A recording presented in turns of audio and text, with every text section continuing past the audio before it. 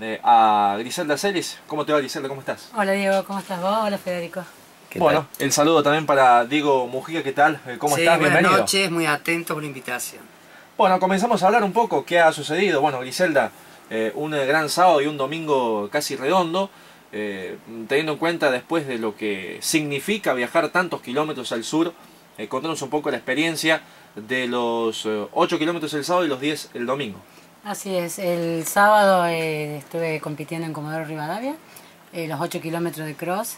Fue un viaje muy largo, por supuesto, de un día y medio, y tuve un día para descansar, pero bueno, al otro día ya estaba lista para, para hacer la carrera de cross, que, que, me fue muy bien, fue una carrera, bueno, un cross muy, muy pesado, con muchas trabas, porque te imaginabas ya, eh, era en una parte, un pozo donde teníamos que correr, uh -huh. era en el autódromo, eh, era un cross con, con, mucha maleza, muchas piedras, subidas y bajadas, pero lo más lindo de, de todo esto es que se podía ver el mar Atlántico, así que se, se disfrutó más, el cross fue, fue más suave, digamos.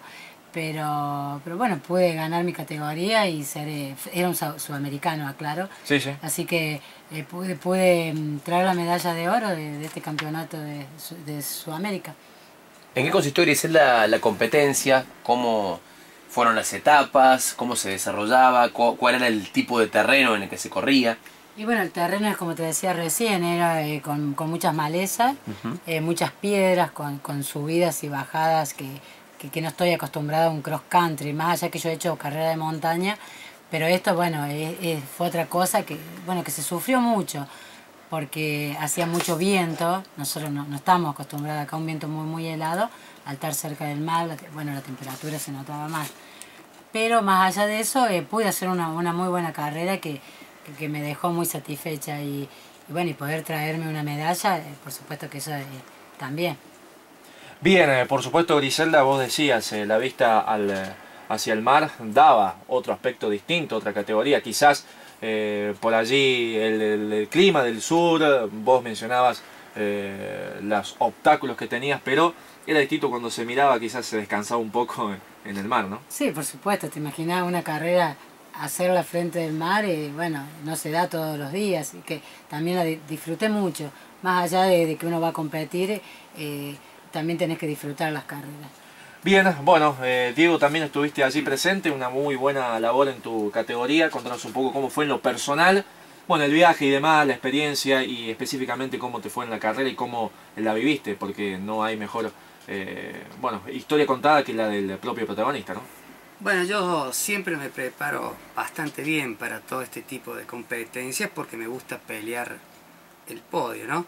Esta vuelta me tocó venirme con la medalla de plata, que es una buena posición, hablando de un sudamericano. Yo corrí solamente los 10 kilómetros de ruta, no corrí el sábado. Así que creo que hice muy buen tiempo teniendo en cuenta lo adverso del terreno porque nos encontramos con muchas cuestas de 500, 700 metros de largo y aparte el viento de costado y de frente que bueno, hace que bueno, las piernas por ahí no respondan como uno está preparado. Sí, sí. Pero eh, hice muy buena carrera y conforme eh, de traer otra medalla para nuestra ciudad, ¿no? Diego, ¿cómo se planifica este tipo de competencia? ¿Uno hace un viaje previo a reconocer el terreno o uno va de acuerdo a lo que se comenta de lo que se puede encontrar en Comodoro Rivadavia? En lo todo esto es muy personal y hablo por mí. Uh -huh. eh, yo no me preocupo mucho del terreno porque, bueno, si no te entra a trabajar un poco los nervios. A mí puntualmente prefiero llegar y ver y conocer el terreno a la medida que voy corriendo. Sobre la marcha. Sí tengo un plan estrategia de carrera que en el caso de los 10 kilómetros, los primeros 5 los vamos a un ritmo mediano y después sí aceleramos para poder lograr la marca y los objetivos deseados. Y bueno, por supuesto, cuando empiece el año, mi entrenador, Diego Mujica, que es mi hijo, eh, me dice cuáles son tus objetivos y planificamos ya en febrero todo el año, uh -huh. en base a las carreras más importantes. ¿Qué tipo de entrenamiento realizas eh, para el año en particular y para una competencia de cross country en, en, en particular también? Bueno, el, la semana mía son siete días de entrenamiento. Dos, de los días, dos, de, dos días hago pistas, que eso me sirve para la velocidad. un día hago cuestas, que me fortalece los músculos, y los otros cuatro días hago fondo, que es lo que me da la resistencia. Eh, está dividido en cuatro semanas el mes. La última semana, que es la que estoy pasando ahora, es semana de descarga, donde estamos haciendo 50 kilómetros nada más de semanales. Las otras semanas van de 95 a 103. Bien, bueno, también obviamente que tiene que ver, eh, bueno, dialogamos eh, antes del programa, eh, de entrenar junto a Grisel, aunque sea una jornada en la semana, es importante, ¿no? Porque quizás, obviamente, vos, Diego, planificás lo del año y puede coincidir con algún campeonato argentino o de cualquier otra índole con Griselda y, bueno, comparten el momento que es realmente importante, ¿no? Compartir quizás una de las pasiones de su vida, que es el atletismo. Sí, se nos despertó tarde, eh, pues hace el caso particular de Griselda, creo que hace tres años que corre, yo hace un poquito más.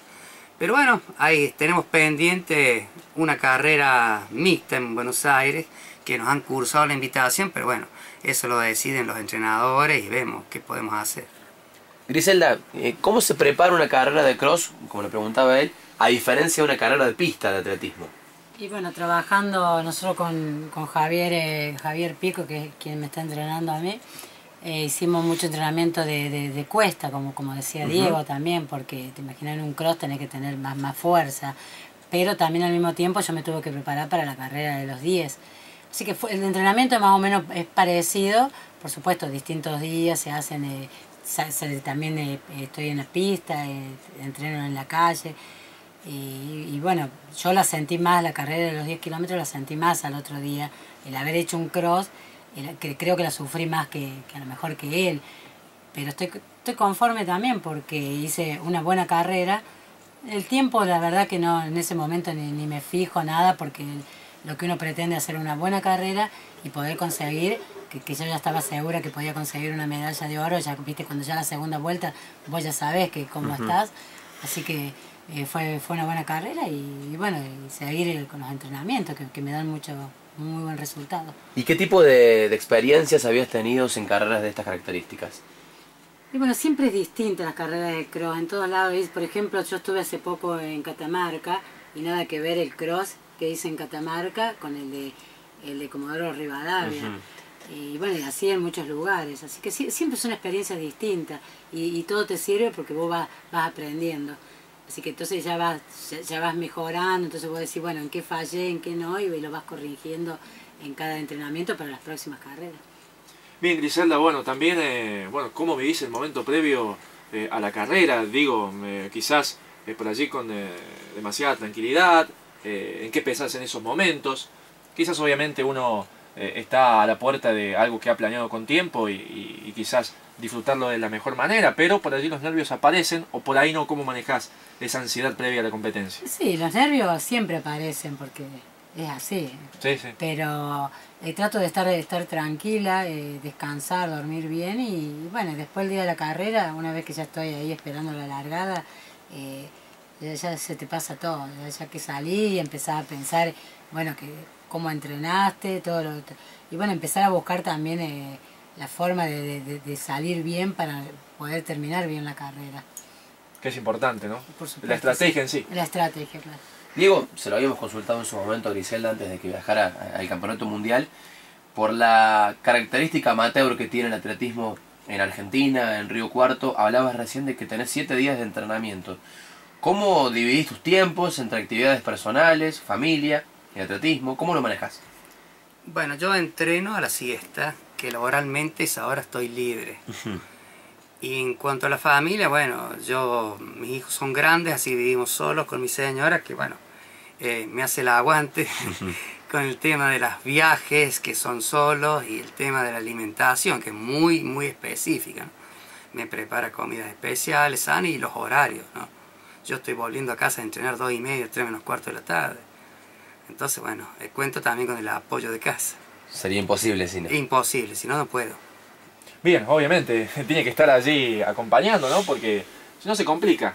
Digo, creo que todo deporte quisiera también tu familia, el apoyo creo que es importante para realizar eh, de acuerdo a los tiempos de cada uno y también de alguna manera todo su entorno se adapte también.